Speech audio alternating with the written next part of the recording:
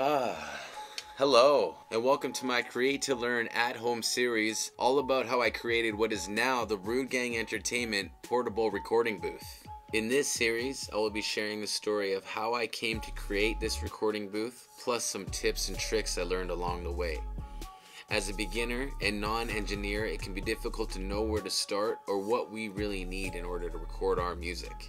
I hope these stories and tips can be useful to artists who would like to start building their own DIY booth. My name is Patrick Kelly, co founder of Rudegang Entertainment, coming to you straight from Rudegang Studios in so called British Columbia. In episode 2 of this series, we talk briefly about gear and things to keep in mind before you make big purchases.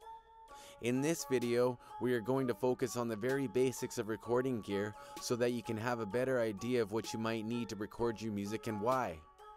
Let's talk microphones for a second.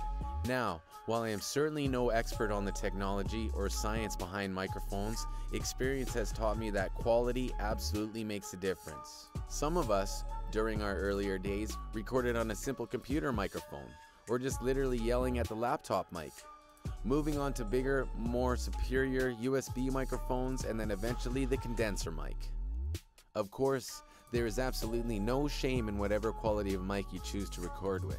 But if you're going to go through the fuss of building yourself a great booth with sound quality in mind, I highly recommend investing in a top quality microphone to record with. If all goes well, your investment will eventually be able to pay for itself. Below your microphone is where you will find the shock mount and of course the mic stand. Both of which can be easy to overlook, but depending on the type of microphone you have, you may want to pay special attention to the type of microphone stand and shock mount that you plan on purchasing. After purchasing my Kaotica eyeball accessory, we noticed that instead of achieving a clearer sound like we hoped, we were actually getting more foreign sound in our recordings than before. We did some research and discovered that we had maxed out the weight requirements on our old shock mount and quickly replaced it with a stronger one. At that point, we found that we were still hearing small sounds on our recordings.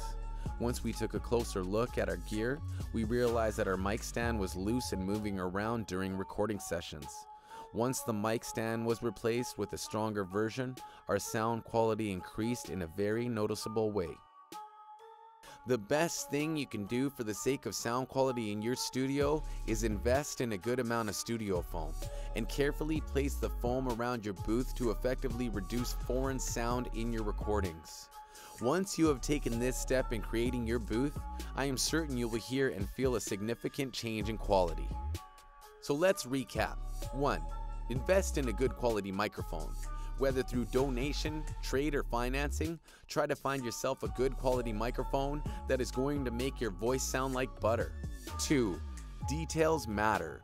Things like foam, a pop filter, shock mount, and a good sturdy mic stand can make the difference between a good clean recording or a muddled recording.